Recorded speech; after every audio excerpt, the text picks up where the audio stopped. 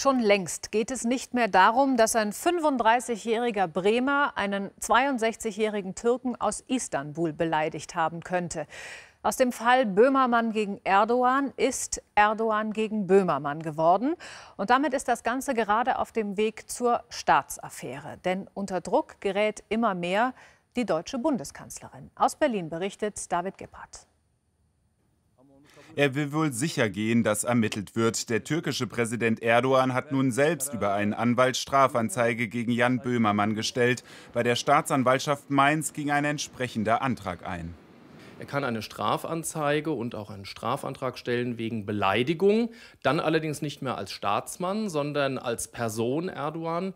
Und diese Strafanzeige würde dann von der Staatsanwaltschaft in Mainz verfolgt werden, wie jeder andere Fall von Beleidigung zwischen zwei Personen. Parallel zu seiner Klage als Privatmann verfolgt Erdogan einen zweiten Weg. Die Bundesregierung muss prüfen, ob sie der offiziellen Aufforderung der Türkei nachkommt, ein Strafverfahren gegen Böhmermann zu veranlassen, wegen Beleidigung eines Vertreters eines ausländischen Staates.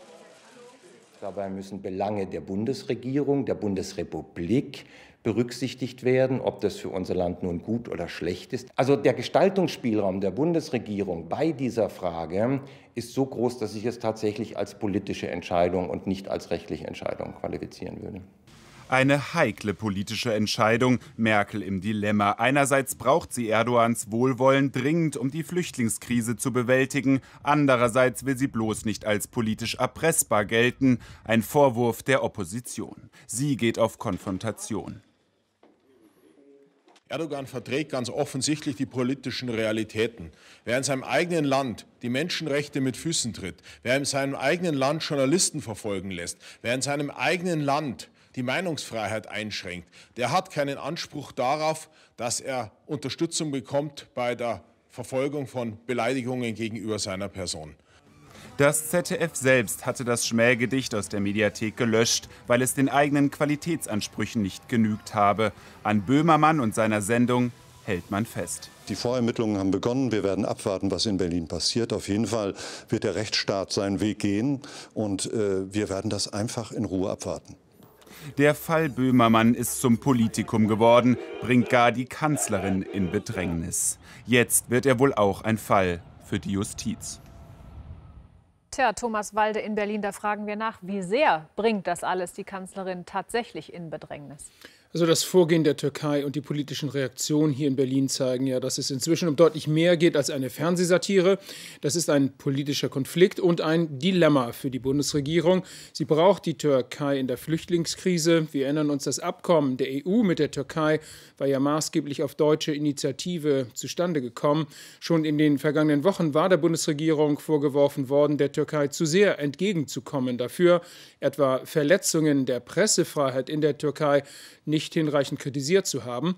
Auch jetzt hat sich Frau Merkel durchaus angreifbar gemacht, als sie den Böhmermann-Text nach einem Telefonat mit dem türkischen Ministerpräsidenten öffentlich als äh, so wörtlich bewusst verletzend kritisierte. Darum war der Regierungssprecher hier in Berlin zuletzt auch sehr wortreich bemüht, dem Eindruck entgegenzutreten, die Bundesregierung opfere die Meinungsfreiheit hierzulande der notwendigen Zusammenarbeit in der Flüchtlingskrise. Ganz gleich nun, wie die Bundesregierung entscheidet, sie wird jemanden vor den Kopf stoßen, entweder die türkische Seite oder Kritiker hierzulande. Da gibt es wohl wenig Kompromissmöglichkeiten. Das ist, denke ich, im Moment für die Regierung hier weniger eine juristische, sondern eine politische Abwägung die in den nächsten Stunden und Tagen getroffen werden soll. Vielen Dank, Thomas Walde nach Berlin. Die Meinungen gehen weit auseinander. Mehr als 100.000 Unterstützer haben sich einer Online-Petition zugunsten von Jan Böhmermann zum Beispiel angeschlossen. Die Initiatorin meint, Zitat, die verletzten Gefühle eines Herrn Erdogan dürfen keinen Einfluss auf die Pressefreiheit in Deutschland haben. Viele andere fordern ein hartes Gerichtsurteil. Wie sehen das nun die Türken, die hier in Deutschland leben? Katharina Weisgerber hat sich in Bremen umgehört. Gröpelingen ist der Multikulti-Stadtteil der Hansestadt. Hier im Bremer Westen haben mehr als 40 Prozent der Menschen keinen deutschen Pass. Die Lindenhofstraße wird Klein-Istanbul genannt, ein weitgehend geschlossenes türkisches Quartier. Der Strafantrag des türkischen Staatspräsidenten gegen Jan Böhmermann beschäftigt die hier lebenden Türken. Ich hoffe, äh, dass, dass diese Sache mit den Beleidigungen alles unterlassen wird, weil das ist eine Ebene, dass das äh, äh, Länderbasis nicht so gut ist. Weil hier leben äh, sechs, sieben Millionen türkische Staatsangehörige und äh, ein äh, sozusagen ein äh, Journalist beleidigt unter Gürtel andere äh, Staatspräsident. Das ist unangenehm. Was würden Sie machen? Finden Sie richtig die Anzeige? Oder, äh, oder? Ich finde nicht richtig, nee. Überhaupt nicht. Weil hier ist Deutschland, er ist in Türkei. Also, also ich würde nicht machen, nee. nee. Das heißt, Sie finden, er reagiert zu doll? Zu doll, genau, ja, ja. Er macht das, ja. ja. Ich denke mir, man soll, äh, man soll es einfach gelassen sehen. Ne? Also natürlich ist es natürlich für viele ein rassistischer Anlass, ne? aber man sollte es einfach so sein lassen, so wie es ist. Eben, ne? Es ist Kunst eigentlich. Ich kann singen, was ich will. Ich kann, solange ich dabei keinen Schaden bringe, ist doch normal. Das kann, kann man machen. Jeder Mensch hat das Recht, seine Meinung zu sagen. Und man darf sich nicht von seinem Diktator die Meinung aufdrücken lassen. Und meiner Meinung nach geht das sogar zu weit, dass die gerade die türkische Regierung in Bezug auf Religion, Integration hier viel zu viel mitredet. Deutschland ist Deutschland. Äh, wir sind Multikulti, aber nichtsdestotrotz hat jeder Mensch hier das Recht, seine Meinung zu sagen, egal in welche Richtung das geht. Aber eigentlich genießt man hier heute Morgen auch eher die frühlingshaften Temperaturen. Themen beim Kaffee gibt es viele, nicht nur Erdogan. Tja, aber da können die Temperaturen noch so sehr schmeicheln. Es gibt Rechtsexperten, die nicht ausschließen, dass der Fall am Ende sogar vor dem Bundesverfassungsgericht landen könnte. Hat Böhmermann die Grenze zur Herabwürdigung eines Menschen überschritten? Welche juristische Auseinandersetzung ist jetzt am wahrscheinlichsten? Und kann man das mit ähnlichen Fällen der Vergangenheit vergleichen? Joachim Pohl fasst zusammen. Jetzt ist es amtlich, es wird wohl ein Ermittlungsverfahren wegen Beleidigung gegen Böhmermann geben. Die Frage ist nur, im großen oder im kleineren Stil. Im großen heißt Beleidigung von Organen ausländischer Staaten, sozusagen eine Art Majestätsbeleidigung. Es drohen Geldstrafe oder Freiheitsstrafe bis zu drei Jahren. Dafür braucht es zwei Dinge. Strafersuchen Erdogans, das liegt vor. Bundesregierung erteilt Ermächtigung zur Strafverfolgung, wird heftigst geprüft. Denn bei der Frage, ob eine Strafverfolgungsermächtigung erteilt wird, ist die Bundesregierung nicht an geschriebene Voraussetzungen gebunden, sondern allein an ihre politische Einschätzung, ob ihr die außenpolitischen Beziehungen zur Türkei so wichtig sind, dass sie eine Strafverfolgungsermächtigung erteilt. Sorgt die Bundesregierung Nein zur Strafverfolgung, wäre das nicht das Ende. Erdogan kann sich sozusagen als jedermann gegen Beleidigung wehren. Antrag hat er schon gestellt. Strafmaß hier geringer, Geldstrafe oder bis zu einem Jahr Haft. In Deutschland der bekannteste Fall 1967. Der persische Schah Reza Pahlavi muss sich anhören, Persien sei ein KZ. Der Schah lässt nicht nur knüppeln, er erstattet auch Anzeige. Auch damals eine politische Zwickmühle. Die Diplomatie arbeitet fieberhaft, der Schah zieht zurück, der Fall war entschärft. 1995 der chinesische Regierungschef Li Peng zu Besuch in Weimar. Demonstranten schimpfen ihn Massenmörder. Die Staatsanwaltschaft ermittelt wegen Beleidigung eines Staatsgastes. Doch die Chinesen verzichten weise auf einen Antrag. Die Sache wird eingestellt. 2012 die Satirezeitschrift Titanic nimmt den Papst aufs Korn. Scharf und sehr unter der Gürtellinie. Dem Vatikan mag es in den Fingern gejuckt haben, sich zu wehren. Doch dann entschied man sich auch hier taktisch gegen eine Verfolgung. Doch der türkische Präsident sucht wohl die Aufmerksamkeit einer, der weder zu Hause noch sonst wo Majestätsbeleidigung toleriert. Auch bei noch so respektlosen Sätzen kommen sie als Satire daher, können sie von der Meinungs- oder Kunstfreiheit gedeckt sein. Das ist auch der Knackpunkt im Fall Böhmermann. Prognose schwierig. Satire hat sicherlich immer die Aufgabe, an die Grenze zu gehen und deshalb haben wir es hier mit einem Grenzfall zu tun. Es gibt keine einschlägigen Entscheidungen, die man vergleichsweise heranziehen könnte, aber es gibt eine klare Aussage des Bundesverfassungsgerichts und die ist zum einen im Zweifel für die Meinungsfreiheit. Die Bundesregierung muss jetzt entscheiden, gibt es ein Verfahren wegen Verunglimpfung des Staatsoberhaupts oder nur wegen einfacher Beleidigung. Es sei denn, auch Erdogan zieht noch zurück doch wer glaubt im Moment schon daran? Zugeschaltet aus Heidelberg ist mir Klaus Steck, ehemaliger Präsident der Akademie der Künste in Berlin und einer der bekanntesten Plakatkünstler Deutschlands. Herr Steck, Sie haben eine lange Erfahrung mit dem Thema Kunstfreiheit. 41 Verfahren gab es, die sich mit Ihren Arbeiten befasst haben. Und nie ist es Ihren Gegnern gelungen, Ihre Werke zu verbieten. Mit Blick auf die Gerichte, was würden Sie Jan Böhmermann heute gerne sagen? Na, dass er ruhig äh, aus meiner Erfahrung heraus diesen Prozess äh, entgegensehen kann. Die Richter sind wirklich auf der Seite der Meinungsfreiheit, jedenfalls in meinem Falle, immer gewesen, wie scharf man auch, und das ist das Wesen der Satire, dass sie scharf äh, öffentlich etwas aufdeckt, was normalerweise im Verborgenen bleiben soll. Nein, der hat eigentlich gute Chancen. Äh, aber es ist ja längst eine Staatsaffäre daraus geworden. Äh, ich bin jetzt kein äh, Kunstkritiker. Aber das, was er ausgelöst hat, das ist schon gewaltig. Das ist, hätte ich mir so gar nicht vorstellen können. Aber ich glaube, am schwierigsten ist es jetzt für die Bundeskanzlerin. Die ist wirklich in eine Falle gelockt worden. Und ich denke, dass Herr Erdogan es kalt genießt, wie er sie da zappeln lässt. Wie sie sich auch entscheidet, das wurde ja eben auch gesagt, das äh, gereicht zu ihrem Nachteil nun mal leider. Was wäre denn in Ihren Augen das Bessere, zu zeigen, die deutsche Gerichtsbarkeit funktioniert oder das gar nicht erst so hochzuspielen, dass es dazu überhaupt kommt, dass ein Gericht darüber entscheidet? Soweit man das in der Hand hat. Was die Mainzer Staatsanwaltschaft macht, ist natürlich ihre Sache. Natürlich wird das besser. Also ähm, Sie haben ja das Scharurteil, äh, jedenfalls den Versuch des Schars zitiert. Da ist es gar nicht zu einem Prozess gekommen. Äh, und niemand will doch auch mutwillig die Beziehungen zu einem anderen Land äh, äh, zerstören. Ähm, dass unter Deutschen zumindest, unter vielen Deutschen eine ziemlich einheitliche Meinung über einen Erdogan herrscht, das ist bekannt. Und ich glaube, er hat zu allerletzt das Recht, hier in unserem Bereich der Meinungsfreiheit einzudringen, was er ja auch versucht hat. Er kann klagen, das kann jeder Mensch äh, tun. Äh, privat äh, ist ihm freigestellt. Und dann wird man sehen. Also ähm, der Satire, um nochmal das jetzt ins Spiel zu bringen, kann in Wahrheit gar nichts Besseres passieren. Also äh, so viel Wirkung, sagen Sie mir, äh, nennen Sie mir einen Politiker, der mit, was denn, mit äh, anderthalb Minuten eine solche Welle auslösen könnte, wenn er es wollte. Das ist gelungen. Respekt äh, dem Kollegen äh, Böhmermann. Ähm, ich bin ein Satiriker alter Schule. Ich halte mich in der Regel oberhalb äh, der Gürtellinie auf.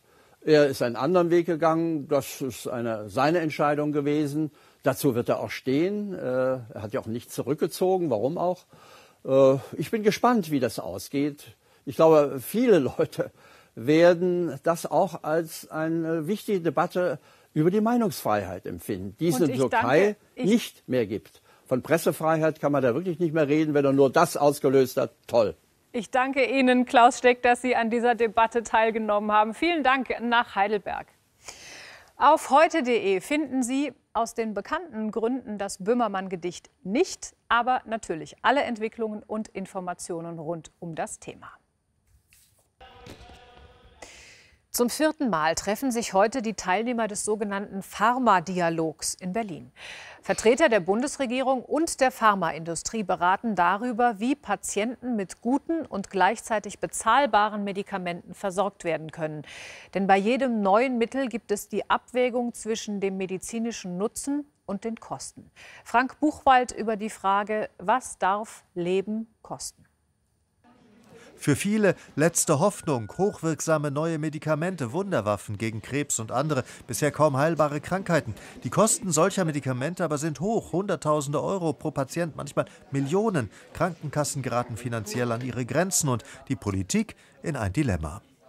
Wir wollen uns auch nach den Erfahrungen der letzten Jahre und auch angesichts des erfreulichen Fortschritts, den wir in diesem Bereich erwarten, einerseits sicherstellen, dass solcher Fortschritt, der in Deutschland schneller als in den allermeisten anderen Ländern in der Versorgung tatsächlich ankommt, auch nicht mit unnötigen Zusatzlasten belastet wird. Andererseits, viele Kassen können diese Lasten kaum noch schultern. Bisher dürfen Hersteller für ein Jahr den Preis frei bestimmen. In diesem ersten Jahr verhandeln sie mit den Kassen über den endgültigen, meist niedrigeren Preis. Künftig soll dieser endgültige Preis rückwirkend auch schon im ersten Jahr gelten, sobald der Umsatz für ein Medikament einen vorher festgelegten hohen Schwellenwert erreicht hat.